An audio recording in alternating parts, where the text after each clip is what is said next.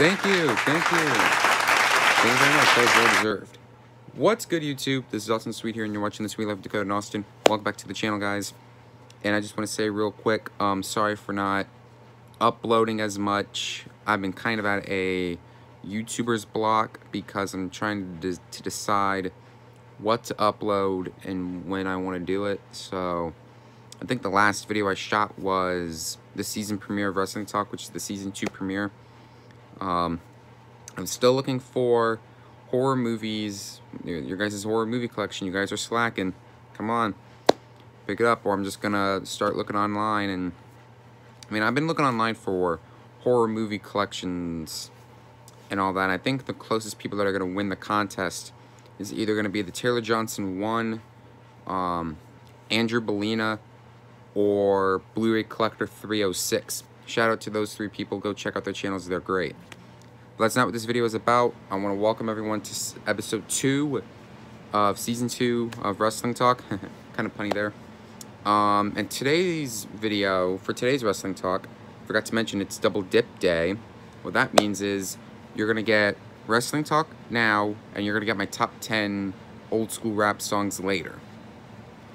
Um, so get ready for that. Um, you guys like the Star Wars jacket? Let me know if I should incorporate the Star Wars jacket into future videos. But anyways, Rant on Hell in a Cell 2019. This pay-per-view was god-awful. I did not like this pay-per-view at all. There were so many things wrong with this pay-per-view. I mean, some of the matches were good. Don't get me wrong. I mean, Ali versus Randy Orton the Kabuki Warriors match. Um, the Tornado Tag Team match was freaking great. I loved that match. But you only had like a few matches that were decent. One was eh, and one that was actually good. But here's the real reason why I'm ranting. The main event. Seth Rollins versus The Fiend, Bray Wyatt. Now, Seth Rollins had the edge going into this match. He said he was going to beat The Fiend, walk away Universal Champion. In my mind, The Fiend, I thought The Fiend was going to squash Seth Rollins in less than three minutes. Like, I swear, like, that was going to happen. But no, the match ends in no contest because of what Rollins did. Okay, first of all, how can a Hell in a Cell match end in a no contest? The darn match is a no disqualification match. Like, you can't go about and saying, oh, this superstar is disqualified for bringing in a weapon. This superstar is disqualified for having outside interference in the cell. This superstar is disqualified. That superstar is disqualified. Focus, WWE. The Hell in a Cell match is no disqualification. But yet you decide to go ahead, call this match no contest, let the Fiend get beaten down, get up, and actually go after um, Rollins. He went after Rollins after the match, laid him out, I think, with his sister Abigail, laid him out with the mandible claw. The fans were left fuming after this pay-per-view. No wonder that pay-per-view got such a bad rating. For one, it sucked. Two, it was the main event. And three, no one cared about the pay-per-view. It's like, my God. I know. And then we got Crown Jewel coming up and all that. We're going to discuss Crown Jewel next week on Wrestling Talk. We're going to discuss that next week. Um, so stay tuned to that. We'll discuss Crown Jewel um, next week on Wrestling Talk. And it'll be next Wednesday. I'm just doing these on Thursdays. Um, because I didn't do it yesterday. You know what I mean. But anyways, next week on Wrestling Talk, we're going to talk about Crown Jewel and why they need to stop doing these shows in Saudi Arabia.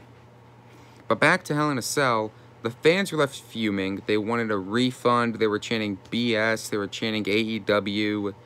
Because fans are tuning, or rather going to tune into AEW because their storylines are much better. And it's not the BS that WWE is giving us. For one, I don't blame the fans for tuning into AEW because you got so much top talent on that show that you don't even need to tune into to WWE to actually get a quality show. You can just tune into AEW for a quality show or NXT for that matter. I mean, look look what happened uh, last night on NXT. I mean, Tommaso Ciampa coming out, Velveteen Dream cutting a promo on Roderick Strong. AEW had some great matches on there. And what does the main flagship show WWE has? Tell me. Hold on, look at the comments. No, no, no, no, not that, not that. No, no, no, no, no. No, just forget it, just forget it. You guys are slacking on the comments. No, I'm just kidding, I love you guys. But, um, no. WWE has nothing. They've got nothing good going for them, except for SmackDown. Except for Friday Night SmackDown, which is like the only show that's actually good. Raw sucks because you don't have. For one, there was no Rollins on Raw, no Fiend, no Firefly Funhouse, and no mention of the pay per view. We just get a video package of what happened. Because that sucks right there. Us getting a video package on Raw without any mention of the show is ridiculous. No wonder SmackDown is going to be good um, in ratings and all that. I mean, look what happened last week. I mean, oh my God. Brock Lesnar squashing Kofi Kingston in nine seconds. I mean, we already knew that Kofi Kingston had no chance against Brock, so it kind of it's kind of it's kind of looking shady for the New Day. They might split. I don't know. We'll discuss that down the road. Um, but I mean, SmackDown is going to win anyways. But back to the Hell in a Cell pay per view. It sucked so bad that I wouldn't even jump on the network and watch it. So, my recommendation to you guys don't watch Hell in a Cell 2019. I think you're better off watching the one with the first ever women's Hell in a Cell match in the New Day Usos match. That was great. Um, just don't watch uh, Hell in a Cell 2019. No build up, no mention of it on the Raw after Hell in a Cell, which was just disappointing. And that'll do it for this episode of Wrestling Talk, guys. Thank you guys very much. If you guys missed the previous episode of Wrestling Talk, which is the season premiere, there will be a link in the description below. Go check it out, or I'll leave a little annotation at the end of this video.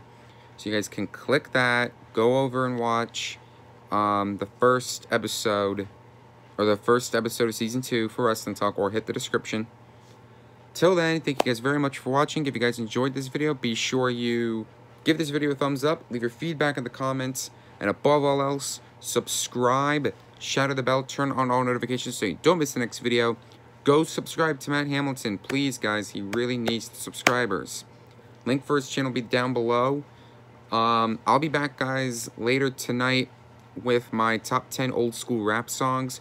So be sure you guys go check that out, and I'll see you guys later.